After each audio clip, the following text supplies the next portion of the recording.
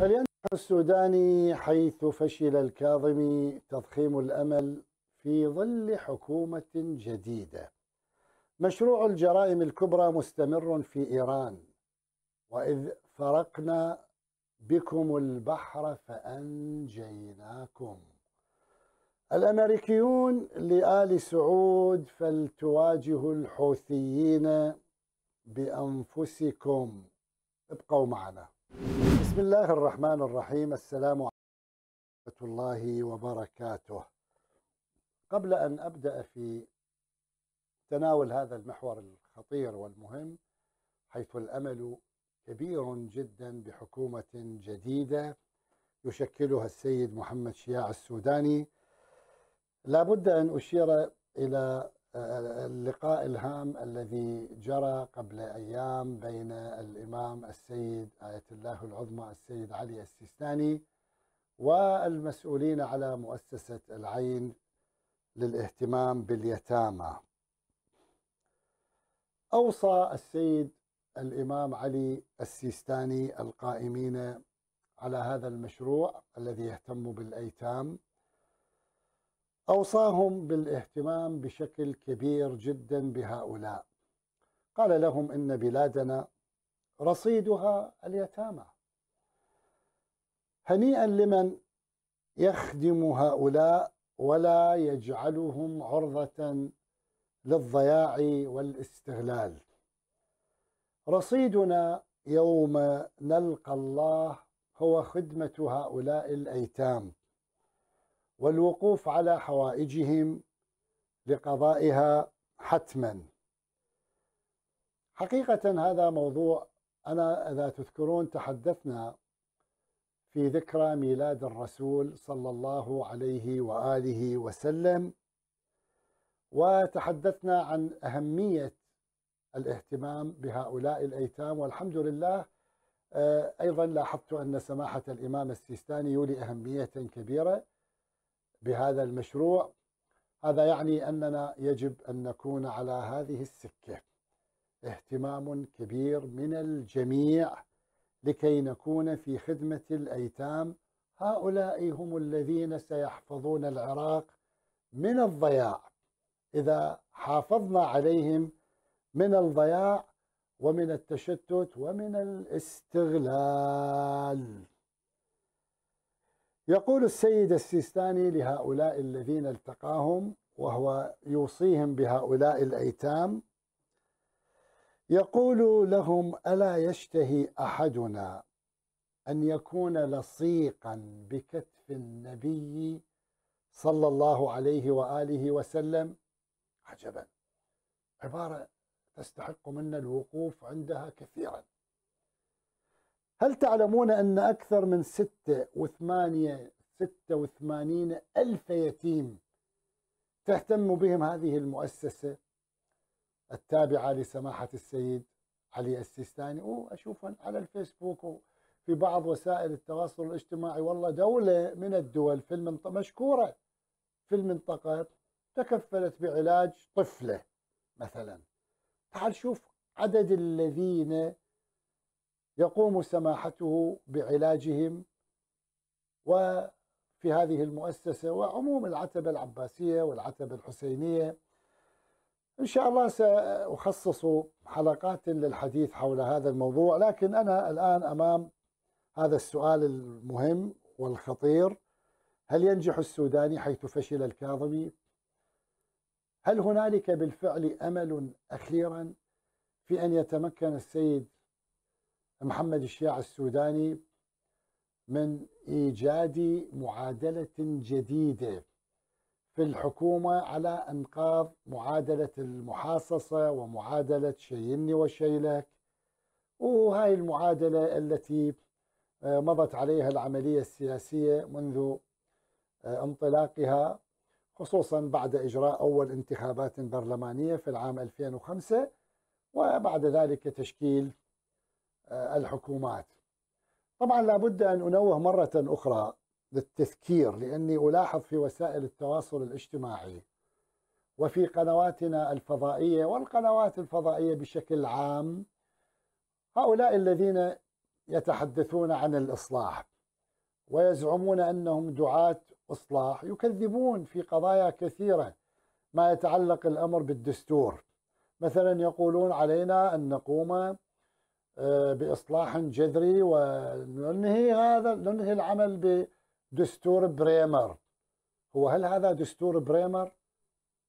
هذا دستور كتبه العراقيون بأنفسهم بأياديهم وبإصرار مباشر من سماحة السيد علي السيستاني كان يصر على كتابة الدستور بأيادي عراقية. أجهض مشروع دستور برايمر. كان عنده دستور جاهز ألغاه وروحوا شوفوا تصريحات ممثل الأمين العام للأمم المتحدة آنذاك حول هذا الموضوع. غسان سلامة. شوفوا على التلفزيونات شنو حكي على هذا الدستور وعلى دستور بريمر وعلى ما قام به سماحة السيد علي السيستاني. الحقيقة أنا أقول مع ملاحظة طبعا أنه هنالك أمل. نلاحظ أن هنالك فرح كبير. الكثير فرحان. نعم هنالك محبطون.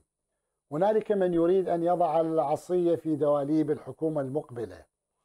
خصوصا إذا أصروا وهذا تحدي يعني التحدي الأول هو كيف يشكل الأخ محمد الشيع السوداني حكومته وكيف يختار الوزراء وكيف أيضا يقوم بعمليات التغيير اللازمة لإحلال قيادات جديدة أو إعادة القيادات القديمة في الأمن في الإعلام في الاقتصاد التي قام السيد مصطفى الكاظمي بتغييرها.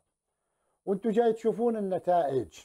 يعني هذه النتائج الآن فيما يتعلق بالكشف عن الفساد هنا وهناك فيما يتعلق بالانفلات الأمني الكثير من الأزمات والتحديات ستواجهها حكومة السيد محمد الشيع السوداني ومن غير المعقول أن ننتظر عصا سحرية بيد السيد السوداني ليحقق لنا كل ما نريده. خصوصا وأن الذي تسرب هو أن هذه الحكومة عمرها سنة ونصف وهذا أمر عجيب. يعني ليش الحكومة سنة ونصف؟ والله حتى تحضر الانتخابات المبكرة وأنتم شفتوا كل المجتمع الدولي بغض النظر عن أهدافه. أسجيلكم على أهداف هذا الاهتمام من المجتمع الدولي. بغض النظر كلهم يقولون بأن العراق ليس بحاجة إلى انتخابات مبكرة. لأنه راح ندور في في حلقة مفرغة. وفي دائرة مفرغة. باكر أنت هم تزعل أو جهة سياسية تزعل هنا وهناك وبالنتيجة أنت هم راح تسوي انتخابات مبكرة لأن هذه الجهة زعلت هذا الزعيم السياسي زعل. لا لا. الرهان يجب أن يكون على حكومة كاملة الصلاحيات حتى الانتخابات العامة المقبلة. يعني على الأقل حكومة السيد محمد الشياع السوداني يجب أن تكون ثلاث سنوات. ثلاث سنوات. وتصير انتخابات عادية مثل بقية الانتخابات السابقة طبعا بشرطها وشروطها. قبل ذلك يجب إعداد قانون انتخابات جديد. قبل ذلك يجب النظر في موضوع مفوضية الانتخابات. وقبل ذلك أيضا يجب إعادة النظر كما قلت لكم في المحافظين في القيادات السياسية في هاي الدرجات الخاصة.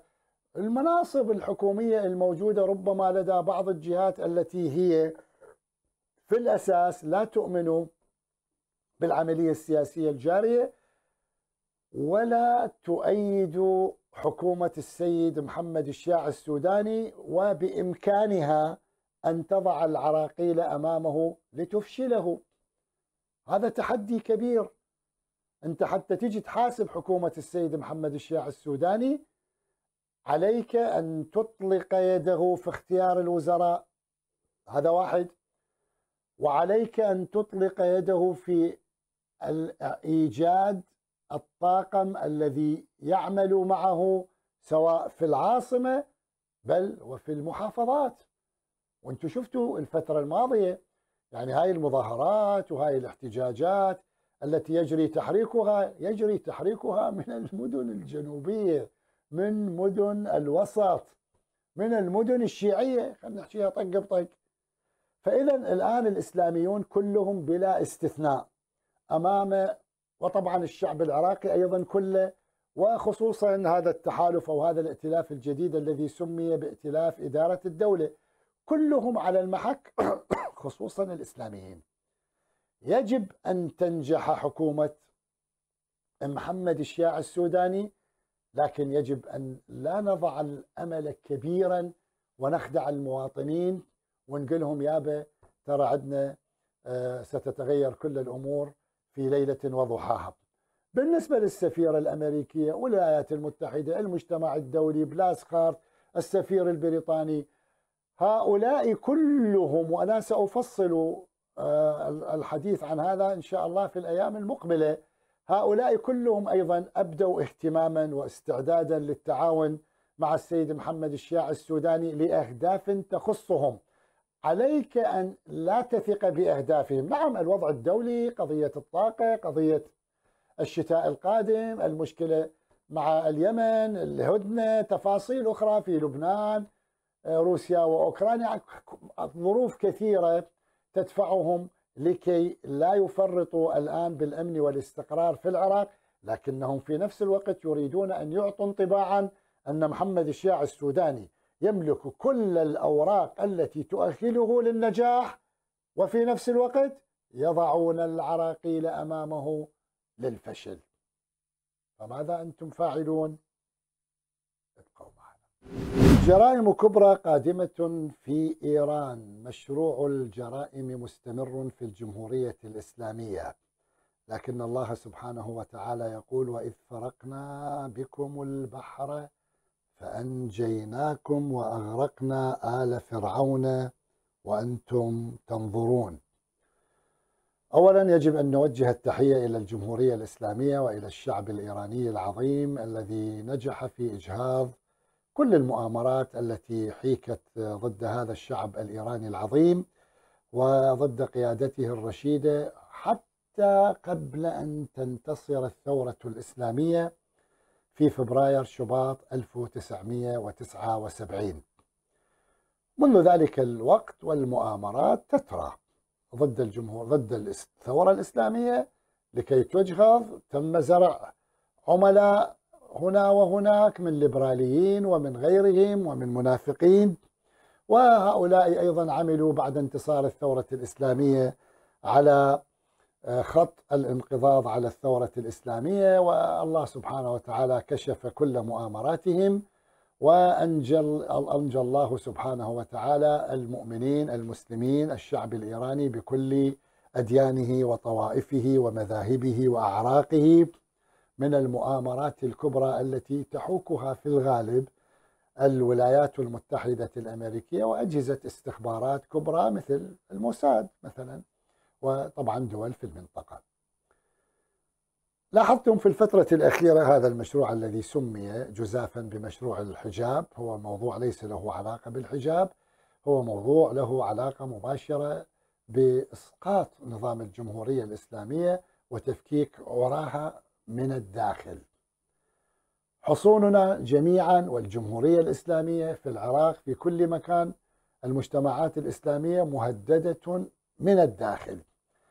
يأتون يمارسون كل أساليب وكل أنواع وأساليب القوى الناعمة للتأثير على الجمهورية الإسلامية وعندهم الشباب الآن فرصة سواء في إيران طبعا أو في العراق ولاحظتم في العراق مع كل الأسف ولاحظتم كما قلت لكم في المحور الأول اهتمام المرجعية العليا بموضوع الأيتام. هسه مو بس موضوع الأيتام يعني موضوع الشباب بشكل عام نحن مقصرون تجاههم جميعا حتى في الجمهورية الإسلامية وهذا من باب المؤمن مرآة أخيه المؤمن وعينه ودليله. يجب الاهتمام بهذا هؤلاء الشباب يجب الاهتمام بشريحة الفتيان والفتيات لكي لا تنطلي عليهم هذه الألاعيب ولا تمرر عليهم هذه المشاريع الكبرى. الآن فشل مشروع الحجاب وكشفوه شافوا شافوا لا هذا مشروع اسمه مشروع التعري هذا مشروع ويقولون بكل صراحة يقولون إحنا الحجاب إذا أسقطنا الحجاب وأجبرنا الجمهورية الإسلامية على التخلي عن قانون الحجاب هو ماكو شيء اسمه قانون الحجاب هو أكو قوانين.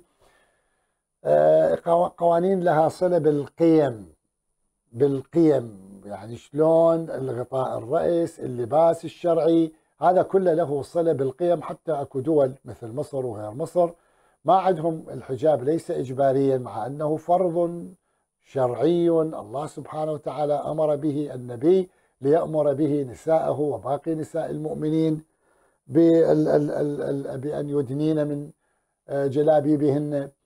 آه، هنالك قوانين باسم قوانين العيب تعوض إلى حد ما موضوع قانون الحجاب أو ما يسمى بالحجاب الإجباري. هذا فشل في الجمهورية الإسلامية لكن كشفت بعض التقارير مؤخرا. أنا اطلعت عليها من بعض مراكز الأبحاث والتفكير وخصوصا كما قلت لكم في الولايات المتحدة والكيان الصهيوني آه، عن وجود أو استعداد لتنفيذ مشروع كبير جدا.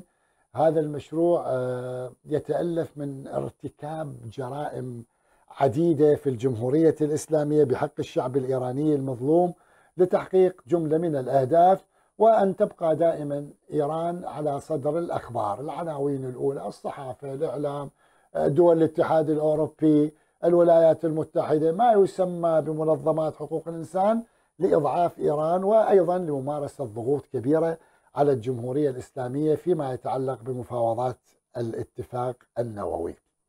هسه أنتم لاحظتم وحتما شفتوا مثلا الاتحاد الأوروبي الولايات المتحدة الأمريكية يفرضون عقوبات على الجمهورية الإسلامية في موضوعات حصل أكبر منها في العراق في قضية المظاهرات التي سميت بمظاهرات تشرين. ويقولون أكو قتل لمتظاهرين وقتل لقوات أمنية وأكو حرق وأكو أكو أكو. وعرفوا الناس الذين قاموا بهذه العمليات لا هو الحشد الشعبي لا هم فصائل المقاومة بل بل حتى ولا هم القوات الأمنية لأن هي القوات الأمنية كانت ضحية. هل فرضت الولايات المتحدة الأمريكية والاتحاد الأوروبي عقوبات على حكومة مصطفى الكاظمي التي جاءت ويفترض بها أن تكون نتاج لهذه المظاهرات وأن تكشف ما حصل. أصلا في عهد مصطفى الكاظمي تم اغتيال ناشطين عدد كبير من الناشطين تم اغتيالهم في عهد مصطفى الكاظمي. يفترض تفرض عقوبات على حكومته. هذا لم يحصل. أو على الجماعات التي يعرفون جيدا هي التي ارتكبت مثل هذه الجرائم. فالمهم هو المخطط يراد له في إيران أن ال ال ال ال يعني إيجاد المزيد من الفوضى عن طريق عناصر جاسوسية جواسيس واكتشفوا الإيرانيين الكثير من هؤلاء العناصر وهؤلاء بالمناسبة هم منفذون هم لا غير مخططين. لأن غرف التخطيط موجودة في دول أخرى خارج الجمهورية الإسلامية والجمهورية الإسلامية تعرف ذلك جيدا ولديها معلومات كبيرة. أه، بعض الإجراءات التي يراد لها أن تحصل يعني من هذه الجرائم في الجمهورية الإسلامية. جرائم تحدث صدمة في الرأي العام العالمي وفي الرأي العام المحلي في الجمهورية الإسلامية. مثلا هاي تقارير استخبارية تم الكشف عنها عن طريق آه، بعض الذين لديهم صلات جيدة مع الجمهورية الإسلامية. الجمهورية الإسلامية تعرف. اغتيال كبار المسؤولين أو الكوادر المهمين في الجمهورية الإسلامية. حرائق متعمدة واسعة النطاق. طبعا هذا إنه درس إنهم ها هذا نفس الشيء لازم يلتفت إلى السيد مصطفى الكاظمي في المرحلة المقبلة. أنا إن شاء الله أنوي أتحدث أيضا عن هذا الموضوع فيما يتعلق بالسيد مصطفى الكاظمي. موجود الذئاب المنفلتة موجودة السلاح المنفلت موجود. هذا كله جاهز لكي تتم مثل هذه العمليات وبعدين والله الحكومة عاجزة ضعيفة كذا لازم تسقط.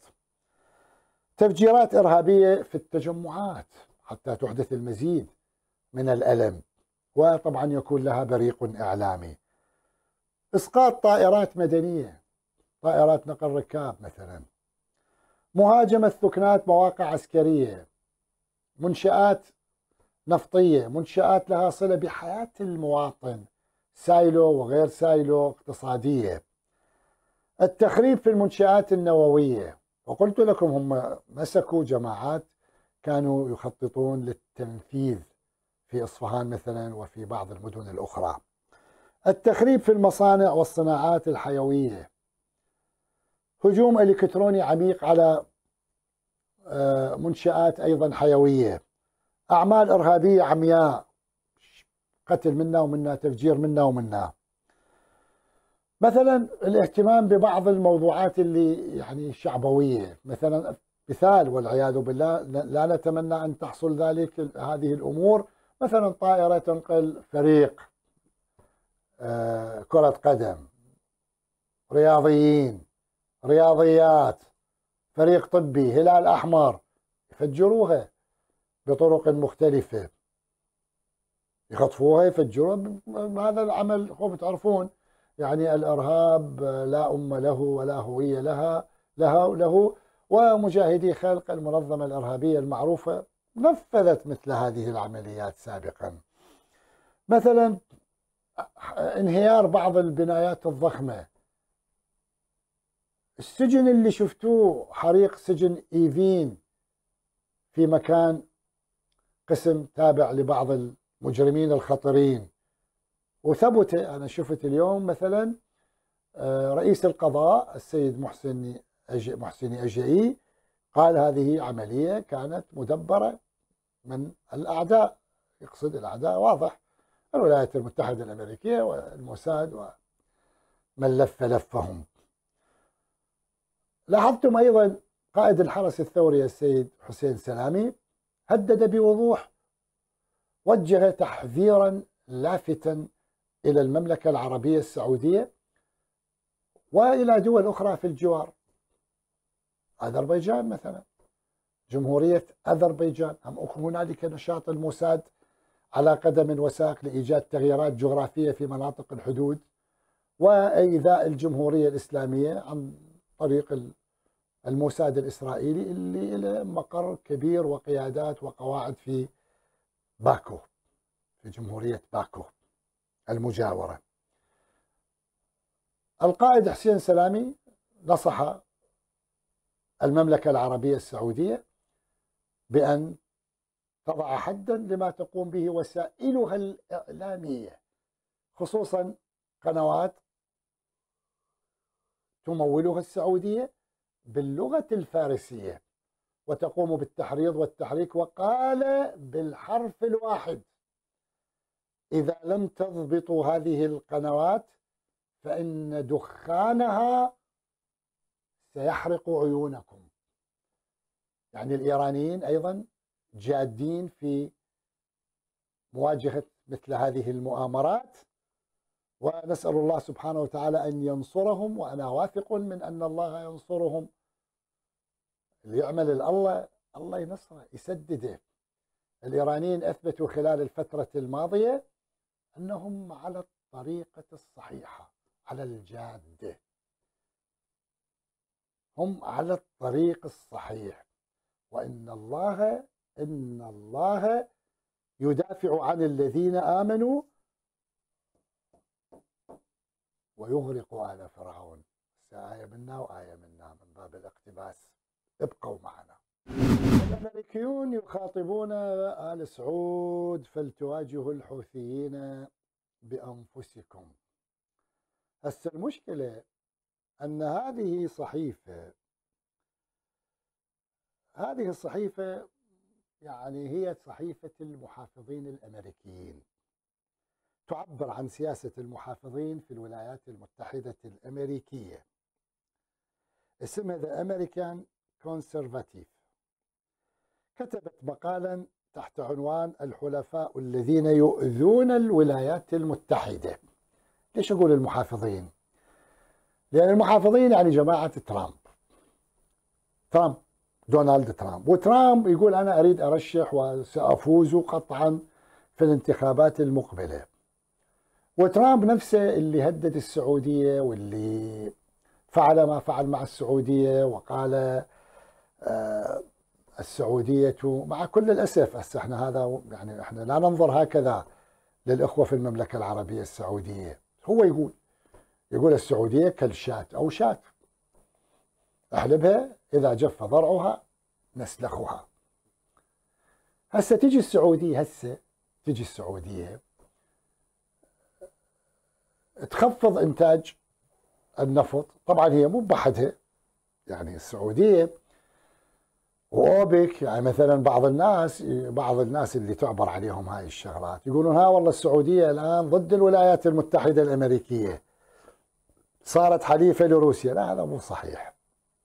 يعني هل إيران عضو في في أوبك؟ يعني هل هذا الموقف تخفيض النفط المحافظة على الأسعار اللي هو يخدم إيران أيضا هل إيران والسعودية حلفاء؟ لا طبعا. هل السعودية تخدم إيران؟ طبعا لا. هسه حتى أكو معلومات يعني بسبب هذا التدخل اللي أشرت إليه في المحور السابق فيما يتعلق بالمملكة العربية السعودية وتحريض على إيران. آه، السعودية طلبت آه، لقاء استئناف الحوار الذي كان قد طويت منه عدة مراحل مع الجمهورية الإسلامية. الجمهورية الإسلامية الآن ما وافقت كما أن اليمن ما وافقت. على تمديد الحدنة فأقول أن المملكة العربية السعودية الآن تريد بأي شكل من الأشكال أن لا ينجح بايدن والحزب الديمقراطي في الانتخابات الرئاسية المقبلة وفي الانتخابات اللي هسه بعد أيام النصفية للكونغرس اللي هي لها تأثير كبير في تغيير ميزان القوى في الولايات المتحدة الأمريكية. مهمة. ف وهاي الرسالة وصلت. يعني حتى عند الأمريكان وصلت. يعني حتى الإدارة الأمريكية إدارة بايدن وصلتها. هذه الرسالة أن المملكة العربية السعودية وهي في يعني حتى عندما قام آه، بايدن بزيارة جدة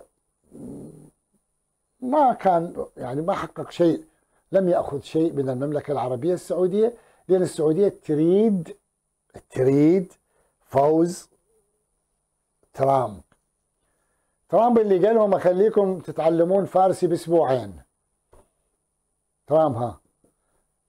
طبعا هو قال شيء آخر بس أنا شوي آه، يعني استنبطت هذا الكلام. قال لهم إذا لو مو إحنا أنتم راح تتعلمون فارسي بأسبوعين. يعني راح تكونون تحت الاحتلال الإيراني. إيران راح تجيكم وإحنا اللي مانعين هذا الاحتلال. زين.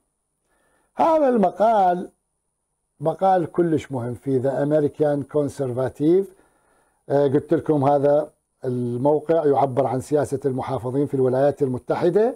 هذا يتحدث عن قضية التحالفات لدى الولايات المتحدة مع دول أخرى في العالم ومدى أهمية هذه التحالفات والعلاقات فعليا بين الولايات المتحدة وهذه الدول وتأثير هذه التحالفات على الولايات المتحدة وما أصبح يعرف بالعبء.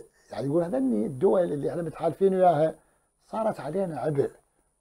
جاي تأذينا عبء عبء ما جاي تفيدنا مثل كوريا الجنوبية وتركيا وتوقف المقال كثيرا عند المملكة العربية السعودية. الكاتب هم شخصية مهمة داغ باندو. هذا داغ باندو كاتب مهم في الولايات المتحدة الأمريكية. آه، هو زميل أول في معهد كاتو. كان مساعدا خاصا سابقا للرئيس. انتبهوا رونالد ريغان. تذكرون رولاند ريغان. كان ممثل سينمائي.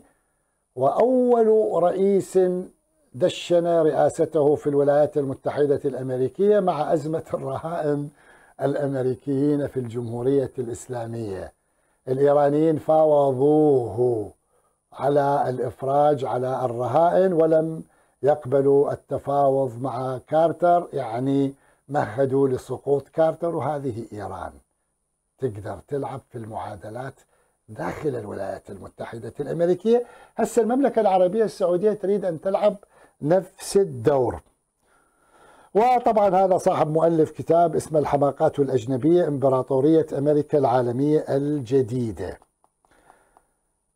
يجي هذا الكاتب يشير في هذا المقال إلى عقيدة تحت عنوان ضرورة الحلفاء. يقول نعم إحنا بحاجة إلى حلفاء لكن عقيدة ضرورة الحلفاء بالنسبة لواشنطن وفق فلسفة تقول إن الولايات المتحدة يجب أن تكون البلد الأكثر امنا في العالم. الأكثر امنا واستقرارا في العالم. يقول لك بما أنه أنا عندي حلفاء بس هؤلاء الحلفاء لازم هم يكونون وسيلة وسيلة. انتبه اللي قاله ترامب شات حلب سلخ جلد. حتى تستقر وضع الولايات المتحدة الأمريكية. حتى يكون القدرة الشرائية للمواطن الأمريكي أعلى من بقية الدول في العالم. يعني هذه هذا اللي يسمونه الأمن القومي الأمريكي يعني المصلحة الأمريكية العليا أمريكا تعلو فوق الشعوب. تمتص خيراتها والدول الأخرى الحلفاء وسائل ليس إلا. أما إذا تحولت هذه الوسائل إلى عبء شن بيها هكذا يكتب هذا المقال. يقول بعض الحلفاء كما في الناتو مثلا في الناتو مثل لوكسمبورغ دولة صغيرة. والجبل الأسود هم دولة صغيرة. يقول ذولي حلفاء صوريون شوفوا يا عراقيين أمريكا شلون تتعامل ويا حلفائها؟ حتى إحنا نعرف شلون نختار حلفائنا. الجمهورية الإسلامية لم تخذل حليفا قط. لم تخذل حليفا لا حركة ولا دولة. هاي سوريا قبالك وهاي روسيا قبالك. وشوف الجدل السائد الآن حول الجدل. أقول حول الطائرات الإيرانية المسيرة ودورها وتأثيرها في أوكرانيا. بس هذا كلامهم هم مو كلامي. لأن الإيرانيين ينفون يقول إحنا ما دزينا سلاح. بس بالنتيجة إيران لم تتخلى عن حلفائها. دعم سياسي دعم شو تسميه سميه أما سوريا أمامك. هم شفت. والعراق أيضا في معركتنا مع التنظيم الإرهابي. وإحنا مع كل الأسف ما وصلنا في العلاقة مع الجمهورية الإسلامية إلى دور الحليف هسه تجي السفيرة الأمريكية تريد تقول تعالوا طبقوا اتفاقية الإطار الاستراتيجي اللي هم ما نفذوها من اجى التنظيم الإرهابي ودخل إلى العراق لما شافوا إيران إجت ودخلت قالوا لا خلي نروح ندخل وبعدين شنو المكافأة؟ اغتيال قادة النصر. فيقول يقول ذولي دول صوريه على أرض الواقع، لكن واشنطن تعاملهم كما لو أنهم أصدقاء على منصة فيسبوك. كلما زاد مرحهم وضجتهم. واعتبروا أن قيمتهم ستكون أكبر لدى العاصمة الأمريكية. إيش تنظر لحلفائه هذا بالاتحاد الأوروبي في الناتو بعدين أشار إلى أن قوة الولايات المتحدة وثرواتها جعلتها حليفا مفضلا لدى العديد من الدول التي تعتبر أن واشنطن تؤمن لها غطاء سياسيا على المستوى الدولي. وأهم اعضاء هذه اللاحة غطاء سياسي. يريدون يعني يشعرون هم محميين من الولايات المتحدة السعودية وتركيا وكوريا الجنوبية.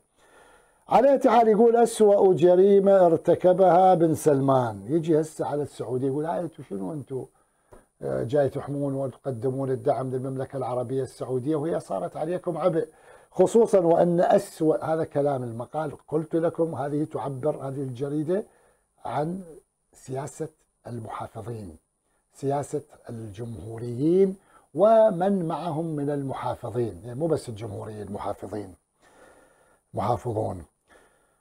أسوأ جريمة ارتكبها ابن سلمان هي غزو اليمن حيث قتل فيه حوالي أربعمائة ألف مدني. هذه الصحيفة الأمريكية. وأكد أن الحكومة الأمريكية كانت بالطبع شريكا دمويا للسعودية. ليش؟ لأن الولايات المتحدة دعمت الرياض والتي ارتكبت جرائم متعددة. ويتوقع النظام السعودي كما يقول الكاتب من الجنود الأمريكيين أن يتصرفوا كحراس شخصيين للأمراء. بعدين يشير إلى أزمة أوبك الأخيرة بين البلدين والتي شكلت الخلفية المباشرة السوى لصالحهم. أزمة أوبك لصالح المحافظين. يقول والتي شكلت الخلفية المباشرة لكتابة هذا المقال فقال باندو إن الرياض أذلت إدارة البيت الأبيض يعني بايدن. وخفضت إنتاج النفط بعد أن خضع بايدن وزار المملكة وقام باستجداء محمد بن سلمان لزيادة مبيعات النفط معتبرا أن المشهد يجعل المرأة يتساءل عن واقع الدولة التي كانت القوة العظمى عالميا. طبعا هم اللي عندهم خلاف. ويا بايدن فيستهزئون بيقول كنا دولة عظمى. هسه أنت تروح تستهزئ أنت تروح عفوا تستجدي وتتوسل بالسعودية. السعودية شنو؟ مو كان بايدن كان ترامب يجرجرها تجرجر. فارق خشمها. أخيرا يقدم المقال النصيحة. يقول يجب على واشنطن ترك العائلة السعودية العائلة المالكة في المملكة العربية السعودية يستخدمون الأسلحة الأمريكية التي اشتروها من الولايات المتحدة للدفاع عن أنفسهم أمام الحوثيين. أليس هذا درس لنا؟ في أمان الله.